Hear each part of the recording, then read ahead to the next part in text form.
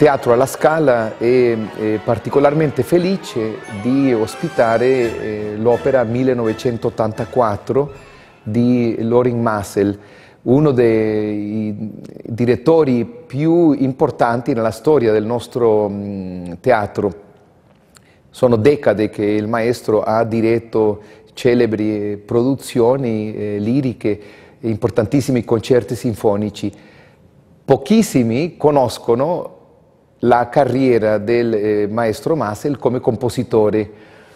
Eh, lui ha cominciato a comporre molto attivamente, molto intensamente durante gli ultimi 12 anni e ha composto per eh, grandissimi interpreti come Rostropovich, eh, come James Galway e come se stesso, che sappiamo che è un importante violinista e lui ha scritto dei, dei, dei eh, brani, eh, dei concerti per questi strumenti e orchestra.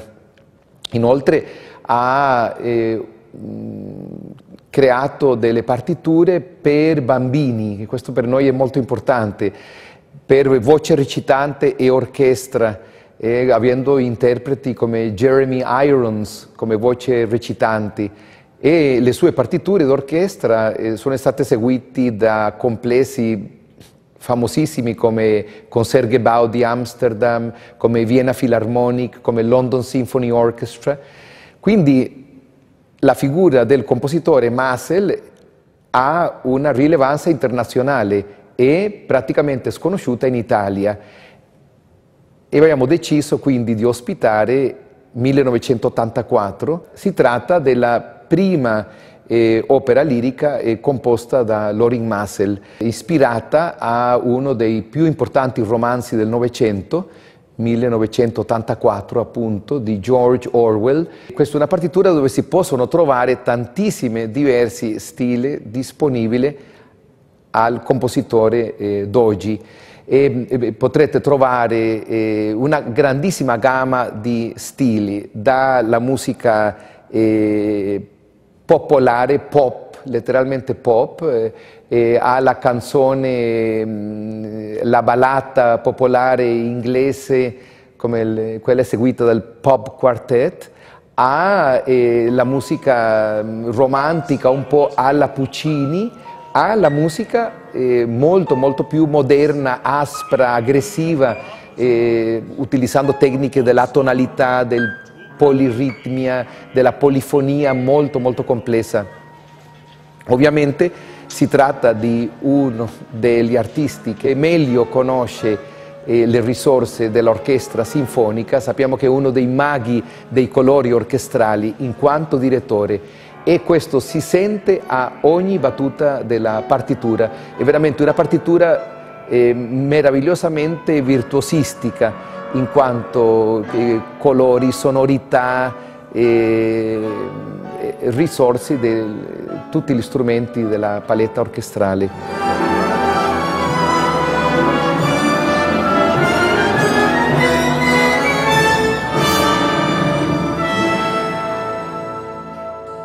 Dieci anni fa il sovrintendente del Prinz Regententeatro a Monaco di Baviera, August Eveding, mi chiese di comporre un'opera per il suo teatro. Il soggetto avremmo dovuto sceglierlo insieme e, dopo aver passato in rassegna alcuni temi classici, la leggenda di Ulisse vista attraverso gli occhi del figlio Telemaco e via dicendo, decidemmo di confrontarci con un tema della contemporaneità, preferibilmente un romanzo o un testo teatrale. Rivolgendo a noi stessi la domanda su quale testo ideato nel XX secolo sarebbe con tutta probabilità stato giudicato come le roman à clé del secolo, rispondemmo entrambi e contestualmente 1984 di George Orwell.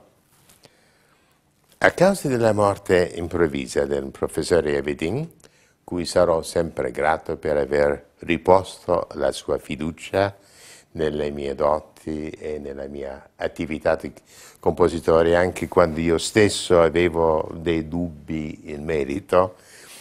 Tale progetto stava per essere abbandonato quando il Covent Garden a Londra mi diede la possibilità di presentare l'opera presso di loro. Accettai con grande entusiasmo. Alla base della scelta del testo vi sono state tre ragioni fondamentali. La stoffa realmente operistica, nel senso che il contenuto si, si prestava ad uno sfruttamento teatrale, il fatto che il nucleo del racconto è una storia d'amore lì, dove la storia d'amore è una connotazione essenziale di un'opera. Poi i temi caratteristici del romanzo sono senza tempo, attuali anche oggi. Avevo letto il romanzo per la prima volta quando ero uno studente universitario e le ho ripreso in mano proprio quando con Evedin abbiamo cominciato a discutere sulla possibilità di farlo soggetto di un'opera.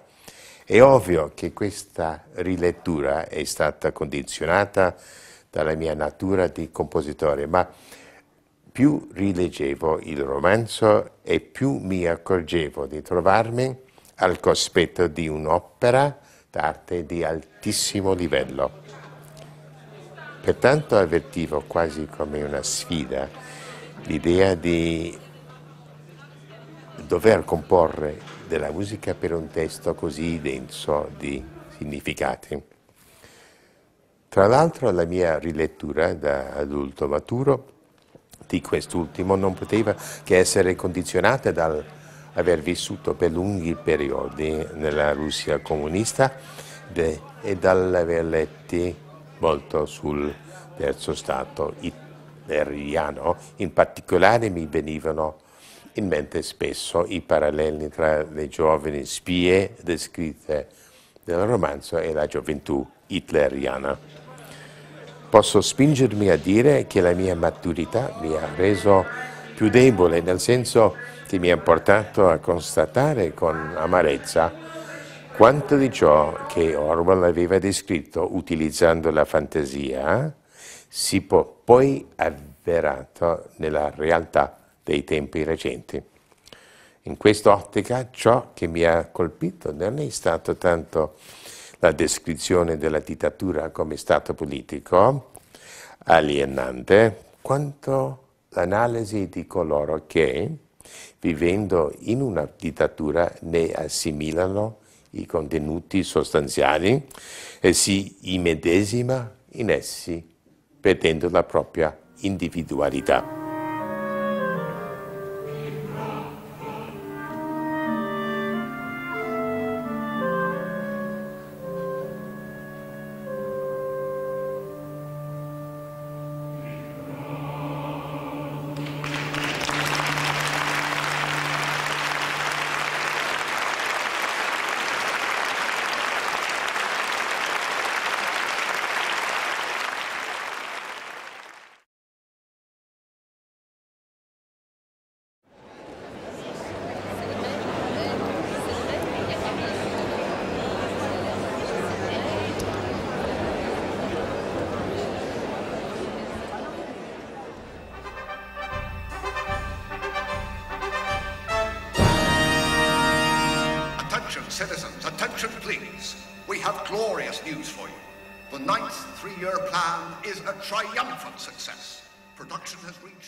George Orwell scrive questa che è la sua ultima opera, 1984, nel 1948. L'84 è scelto in quanto inverte le ultime due cifre dell'anno in cui scrive il libro, che verrà pubblicato un anno dopo, esattamente due anni prima della morte era già malato di tubercolosi polmonare, quindi è un lavoro che gli costa anche molta fatica, e però è un po' il compimento della sua opera. Eh, 1984 è una utopia negativa, una distopia, nel senso che presenta un mondo dominato da uno Stato onnipotente che distrugge ogni libertà dell'individuo e quindi lo priva anche della sua umanità. E fa questo attraverso un controllo completo di ogni aspetto della vita degli individui, addirittura ci sono degli eh, schermi televisivi che eh, scrutano ogni istante della vita eh, della persona nel suo privato e lo fa attraverso una manipolazione del linguaggio che riconduce tutto a un'unica lingua, la cosiddetta nuova lingua, a una lingua unica che riflette naturalmente un pensiero unico. E questo pensiero unico è fondato sull'odio per i nemici e l'amore sconfinato per il grande fratello o fratello maggiore, il Big Brother, che è il leader massimo a cui si deve non solo fedeltà ma amore, ecco, secondo un eh, esasperato culto della personalità. Alcuni hanno definito 1984 un'opera profetica, a me sembra piuttosto che rifletta l'esperienza diretta dell'autore George Orwell e gli accadimenti della prima metà del secolo scorso, il XX secolo, che non dimentichiamolo è stata un'epoca caratterizzata dai regimi totalitari, eh, che hanno avuto le loro espressioni massime nella Germania nazista, hitleriana e nella Unione Sovietica staliniana. Quindi è in qualche modo una diciamo, rielaborazione poetica di quella che è stata un elemento fondamentale della storia della prima metà del Novecento e delle tragedie del primo Novecento, questi totalitarismi poi hanno anche eh, condotto il mondo a una guerra devastante.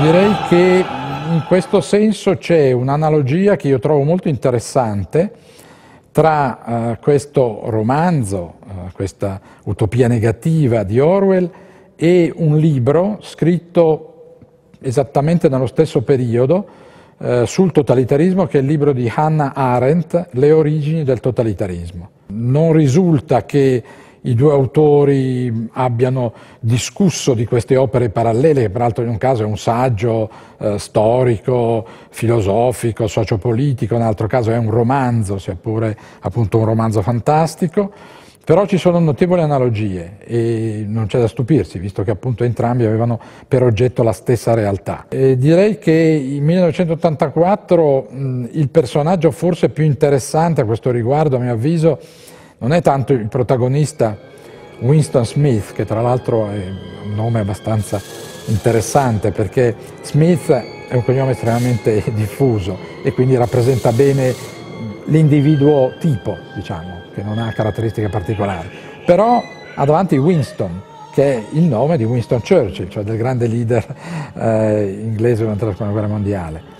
E non è però tanto Winston Smith o la donna di cui si innamora, eh, Giulia, ma è O'Brien, che è questo membro del comitato centrale, potremmo dire, di questo partito Stato e che è anche insieme eh, quello che cerca di eh, conquistare la fiducia di Winston Smith, presentandosi come un ribelle, poi in realtà si scopre che è uno eh, dei membri, possiamo dire, della polizia eh, segreta. E questo è un personaggio molto interessante perché abbastanza è ambiguo, complesso, eh, non è monocorde come eh, il protagonista. E non è un caso che infatti sia stato interpretato nelle due versioni cinematografiche da grandi attori, in particolare nella seconda versione, la più bella delle due, che è quella, il film che è uscito proprio nell'anno fatidico, il 1984, eh, che si chiama infatti Orwell 1984, in cui O'Brien è stata l'ultima interpretazione eh, appunto, di un grande attore come Richard Barton.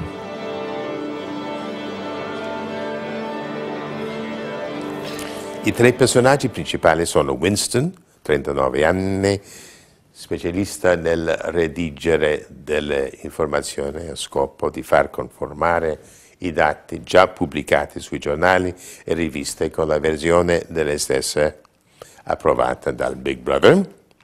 Giulia, 23 anni, ragazza romantica che cerca di nascondere la sua indipendenza, la sua rage de vivre attraverso un'attività conformista.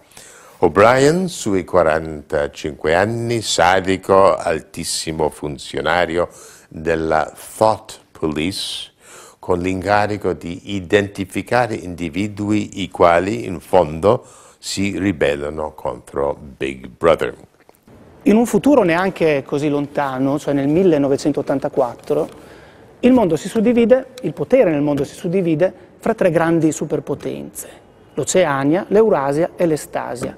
Londra si trova nell'Oceania ed è la sede di diversi ministeri, il Ministero del Lavoro, il Ministero dell'Amore e qui Winston Smith lavora sempre affiliato al partito che detiene il potere, l'Inner Party, il partito interno.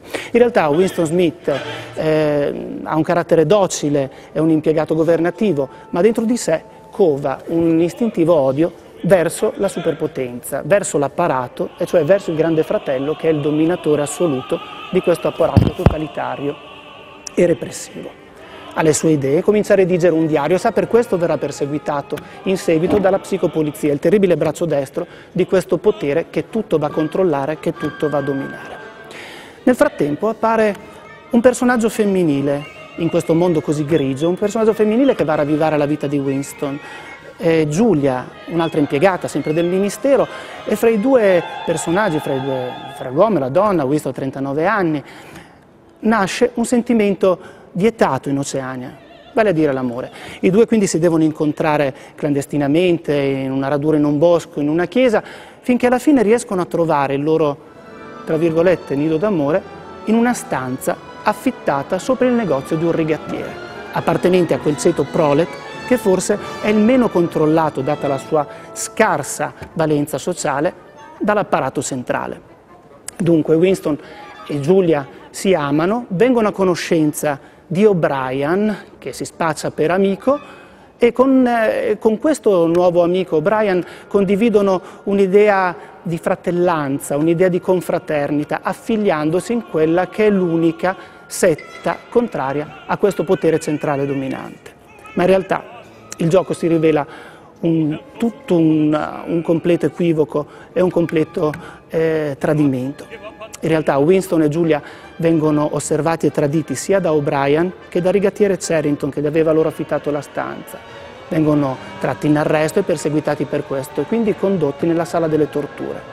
A Winston vengono imposti tre gradi di tortura, il primo, sempre a caratura crescente, lo porterà a non tradire ancora Giulia. Nel secondo egli si sente ancora un essere umano in grado di mantenere i suoi propri sentimenti, ma nel terzo crolla. Nella famigerata stanza 101, dove non vi è una tortura specifica, ma viene aizzata la fobia di cui una persona può avere eh, più paura, più timore, viene presentata a Winston una gabbia con i topi, la sua più grande paura. Ed è qui che Winston cede egli se ne accorge nel momento in cui dice fatelo a Giulia, datelo a Giulia, cioè quando interpone un altro personaggio fra sé e il potere capisce di essere capitolato.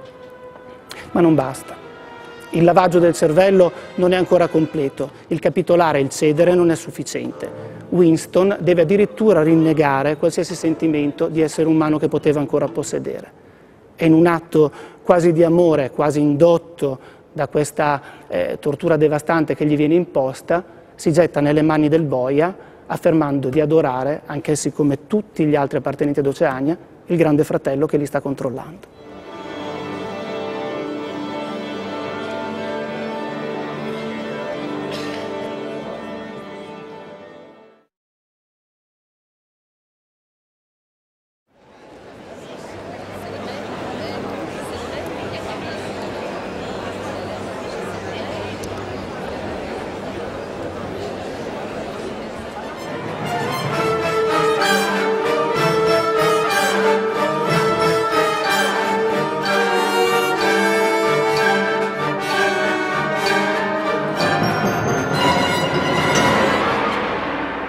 Quanto riguarda il profilo musicale, il detto prima la parola e poi la musica ha un senso profondo in relazione alla mia esperienza creativa di 1984. Avevo sicuramente nella testa qualche idea musicale, qualche tema embrionale, prima ancora di avere tra le mani il libretto redatto, ma ho voluto attendere la stesura definitiva del libretto per poi affrontare la parte musicale in modo più complesso. Prima che il libretto venisse scritto, io e due attori, Sandy McClatchy e Tom Meehan, abbiamo deciso di passare insieme una settimana in completo isolamento al fine di elaborare una struttura concettuale importante che consentisse di stabilire con equilibrio tra i vari elementi narrativi e drammatici e di trovare un ritmo interno. Da una parte volevamo rimanere fedeli al testo di Orwell, ma dall'altra volevamo e dovevamo renderlo materia teatrale. Dato che tutti noi ci siamo anche confrontati sempre con il regista Robert Lepage, posso senza dubbio affermare che, forse per la prima volta nella storia, l'opera risulta essere il risultato dello sforzo congiunto e unisono del compositore, dei librettisti e del regista. Alla fine di questi confronti serrati mi sono trovato tra le mani un libretto di 68 pagine sono partito dall'analisi della metrica in ogni singola frase al fine di far collimare il ritmo musicale, il ritmo della parola. Per mesi ho lavorato di prima mattina ogni giorno per circa due ore, ma giunti a circa dieci mesi dalla data prevista per la prima, il terzo atto doveva ancora essere scritto. In quel momento ho deciso di chiudermi in una casa isolata in Sardegna dove ho trascorso sette settimane solo a comporre, tanto che, finito questo periodo, la maggior parte dell'ultimo atto era terminato. L'ultima nota è stata scritta nel gennaio 2005, quando mancavano solo quattro mesi alla prima londinese.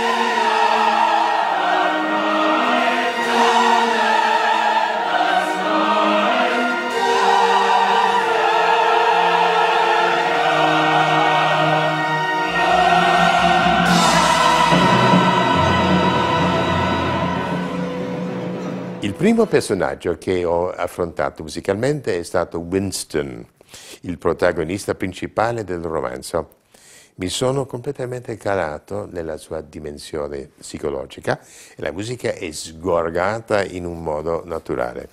Posso anzi dire che questo modus operandi adottato da me in via del tutto spontanea si può assimilare alla prassi wagneriana del leitmotiv, per cui si assegnano a situazioni e stati d'animo determinate connotazioni musicali. Così facendo si possono rintracciare nella musica del 1984 più di 60 motivi musicali. La musica assegnata a Winston è cupa, tesa, esplosiva, ribelle, disperata ma anche rassegnata, allucinante, tutto secondo il testo e la situazione. Per esempio quando dice odio Big Brother, canta I hate Big Brother, brother, Big Brother.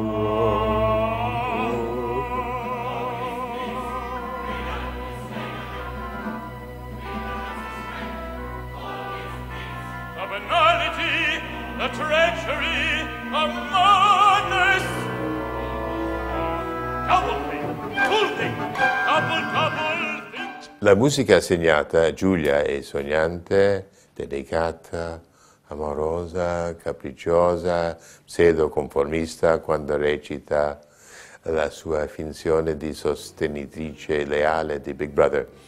L'aria che ho composto per lei sul monologo del quale ella parla della sua vita è la più lunga di tutta l'opera e credo che vada messa in relazione con l'aria di Mimi della Bohème uh, dopo il primo incontro con Rodolfo. Mi chiamano Mimi e perché non so. La musica di Giulia all'inizio del monologo comincia così.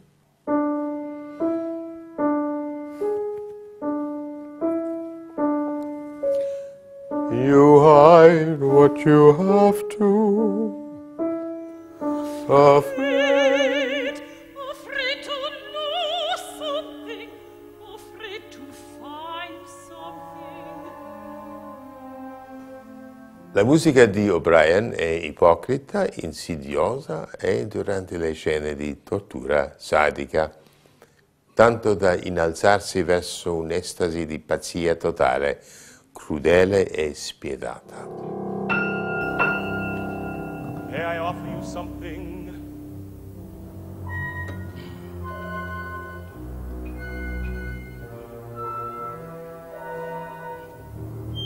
It's called wine. Wine, I've read about it in books. I personaggi secondari anche presentano caratteristiche forti e subito riconoscibili. Parsons è un appoggiatore del regime eh, istupidito dalla sua lealtà, musica goffarda, ironica, addirittura comica. Without quotas for exceeding, There's nothing else that's needed. Facts are better, they're not switched. Chocolate never been so rich.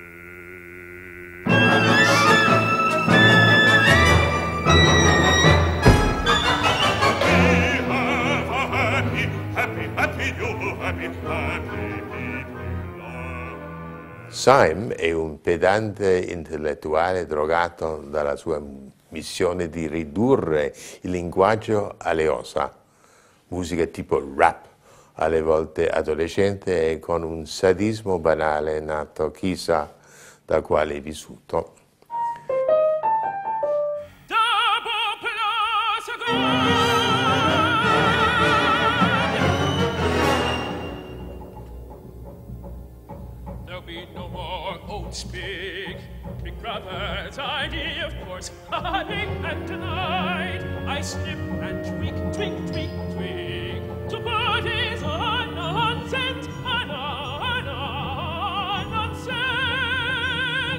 Gym Instructress, la solita fanatica di fitness che si vede oggi, ogni giorno alla televisione alle 5 di mattina, è accompagnata da una musica falsamente allegra con coloriture pazzesche che denotano una persona allo stesso tempo immatura e spietata.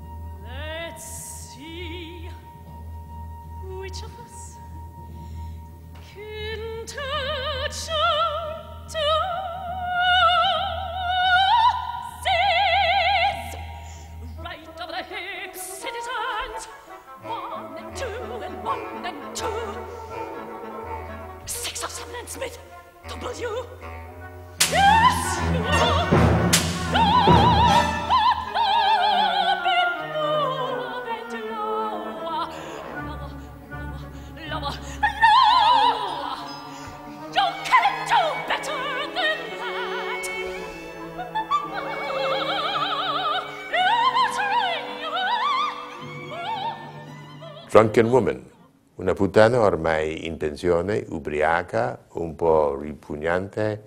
Per lei ho composto della musica inebriata, grottesca e goffamente comica.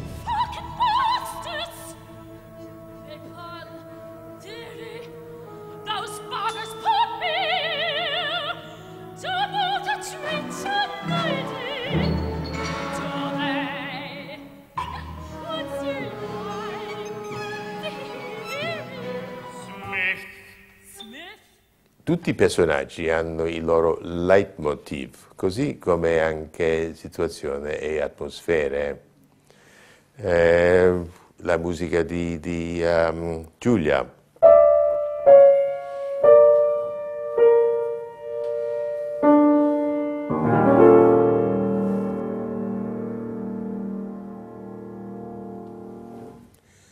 Ci sono citazioni ovvie, Three Blind Mice. Three blind mice, three blind mice.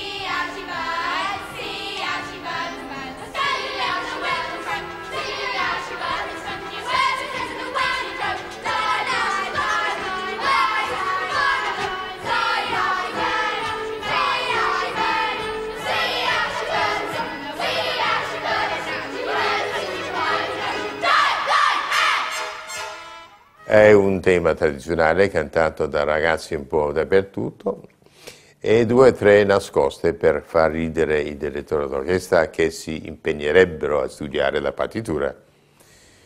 C'è anche uno squillo che precede ogni comunicato da Big Brother proiettato sullo schermo.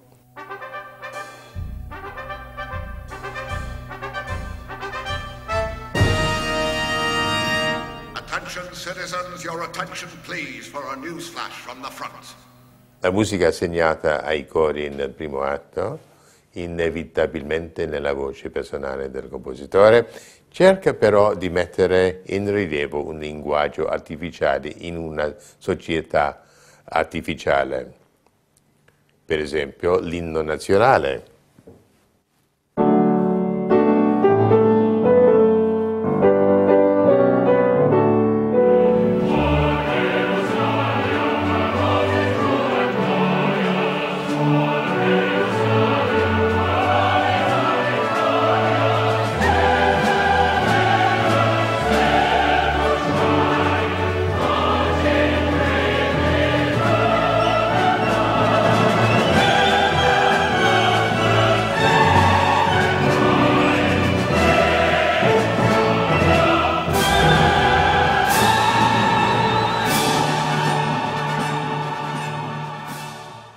La musica d'amore eh, delle arie viene direttamente da me nel mio linguaggio naturale.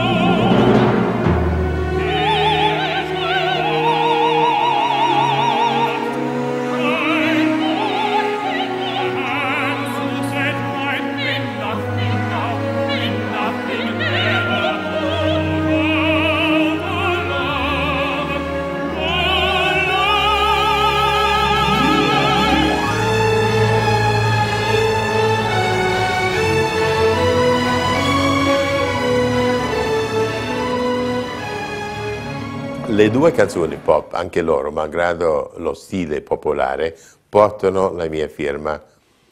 Eh, c'è Stars Still Hang in the Sky, eh, cantata dal, ehm, beh, da una paesana nel cortile ehm, vicino alla casa dove eh, si trovano gli amanti. Stars still hang in the sky. People pass me right by. Why, but why? Tell me why there's no you. Poi alla fine dell'opera eh, un pop eh, cantatrice che canta in una specie di boîte eh, eh, nocturne, in un locale notturno. Remember when you thought it would never end. summer afternoon, the autumn's harvest moon, or winter's frozen swoon. Remember how it felt to be alive back then, back then. Remember when.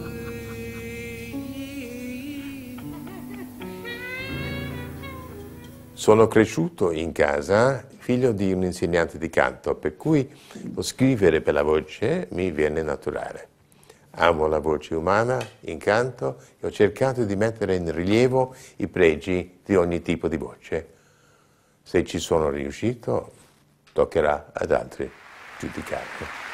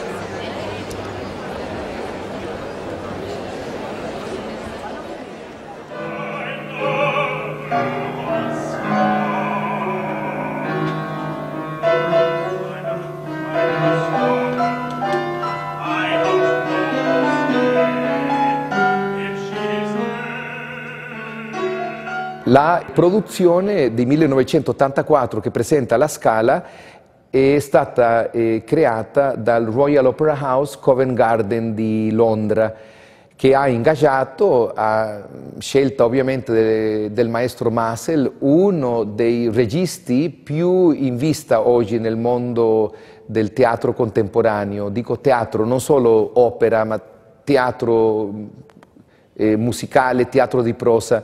Eh, si tratta di Robert Lepage, un artista canadese assolutamente innovativo, all'avanguardia nel campo della regia e della produzione teatrale e che utilizza un po' come, se vogliamo, come Loring Massel, utilizza tutte le risorse disponibili per lo spettacolo dal vivo, perché lui eh, mette in scena eh, la voce eh, cantata, eh, solisti, coro, però poi ci sono tantissimi elementi, per esempio registrati, tantissimi elementi filmati e poi ci sono i rumori pre-registrati, ci sono le proiezioni, ci sono il movimento delle scene a vista.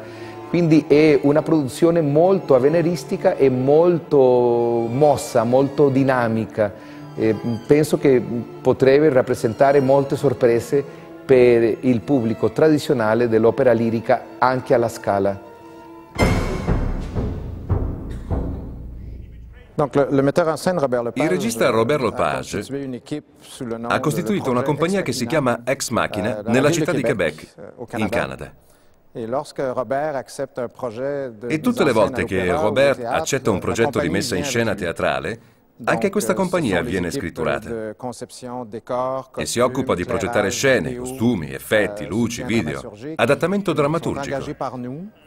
E si on prend le cas de 1984, donc lorsque le anche quando il maestro Mazel Masel ha contattato Robert, noi abbiamo costituito un gruppo e abbiamo ideato l'insieme della produzione, costruito le scene in Quebec, realizzato i costumi, prodotto i video.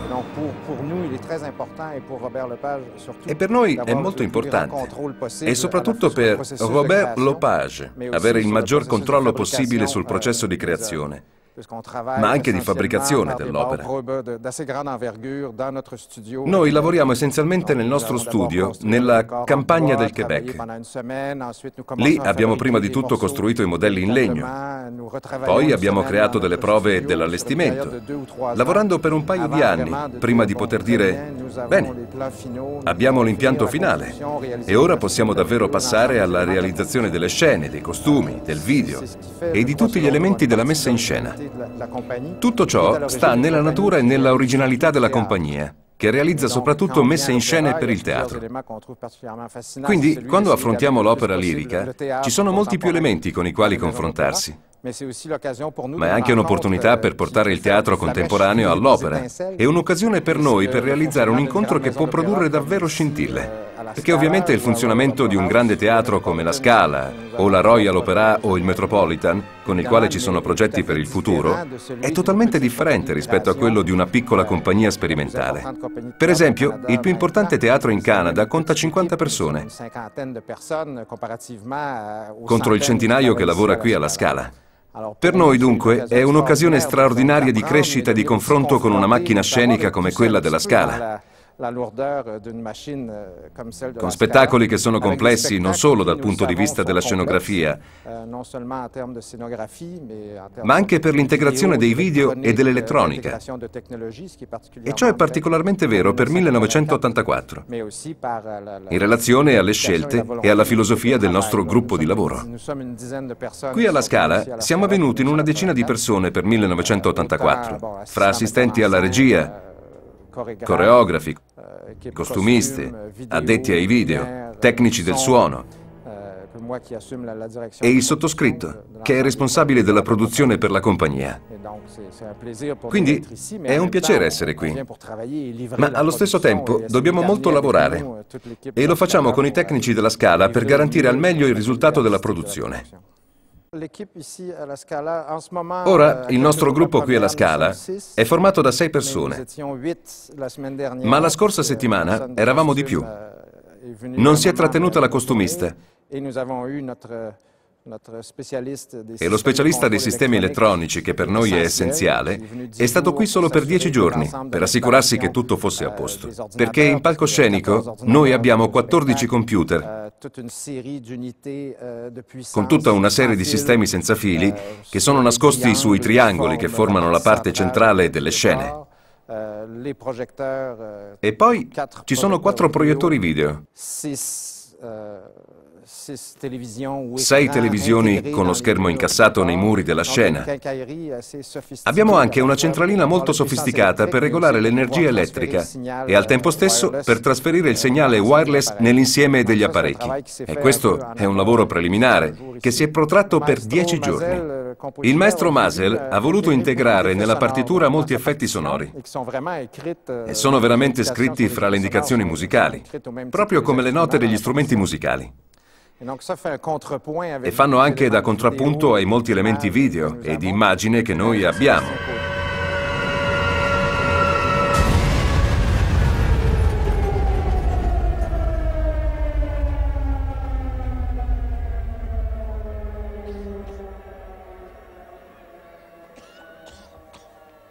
Noi in genere siamo abituati all'opera tradizionale in genere facciamo diciamo, dei servizi più che altro interni che non sono visivi al pubblico come il riporto in palcoscenico, diciamo, il riporto dell'orchestra per i cantanti oppure qualche effetto fuori dalle quinte che viene amplificato per avere diciamo, un effetto magari particolare che serve non so, una voce cavernosa oppure degli effetti sonori come come tuoni, lampi, mentre invece questo 1984 è ancora più complesso perché dobbiamo gestire sei videoproiettori dove abbiamo 12 computer che sono piazzati in scena in, in, in varie strutture proprio della scena, la scena movibile proprio di, di 1984, dove ognuno di questi, di questi computer ha dei contributi video dentro che servono in determinati momenti a mandare delle immagini.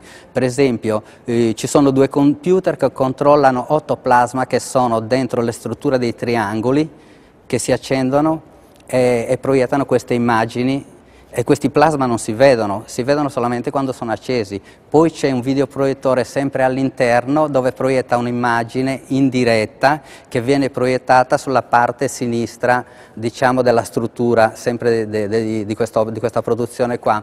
E poi c'è ancora una piccola telecamera dove fanno, eh, diciamo c'è un momento che loro chiamano del fitness, della ginnastica, dove c'è una telecamerina di queste proprio quasi invisibile, dove riprende proprio l'istruttrice che, che, che diciamo, danza, fa della ginnastica, anche questa viene proiettata. E poi ce n'è ancora un'altra piccolissima, eh, basata sopra eh, la macchina della, della tortura, non so se voi l'avete vista, c'è una macchina dove l'attore principale viene torturato e, e c'è questa telecamera proprio di fronte con oh, due strobo lateralmente dove si accendono e nel momento di quando viene data la tensione della corrente eh, viene accesa e si vede proprio il viso de- del, del cantante che, che viene proiettato in scena. Poi abbiamo due in palco reale dove un videoproiettore da, da 20.000 ansi lumen che proietta tutte le immagini centrali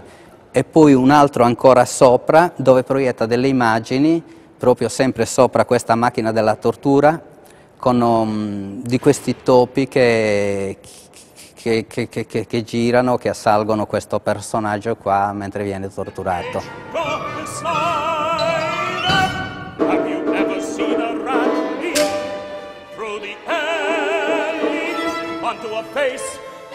Have Come audio invece abbiamo delle tastiere elettroniche, una che è posizionata in orchestra, che diciamo che usa dei suoni sintetizzati, dei suoni elettronici, e un'altra invece che abbiamo posizionato, il maestro Mazel ha voluto posizionare alla parte destra su un palchetto di, di strada, dove da lì partono tutti gli effetti sonori, proprio diciamo mh, le urla, la, la scossa elettrica, l'elicottero che parte, e, per esempio anche l'elicottero, l'elicottero è un effetto bellissimo perché Maestro Mazel, innanzitutto eh, devo precisare che Maestro Mazel ha voluto proprio lui questi effetti e sono molto forti, molto presenti, sono scritti tutti in partitura proprio eh, precisi, con delle battute molto precise, difatti abbiamo avuto dei problemi perché il, diciamo, il- il maestro che suonava queste apparecchiature non era neanche abituato a, a- usare una tastiera elettronica e, e si trovava in difficoltà, difatti abbiamo, avuto de- abbiamo dovuto fare delle prove ancora con il maestro Mazel per poterli eseguire molto bene.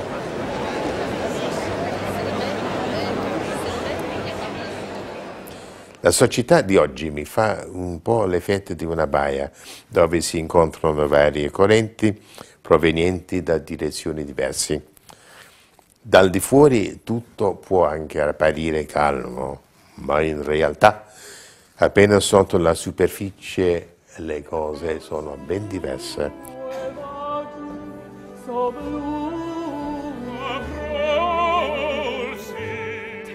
Party shouts,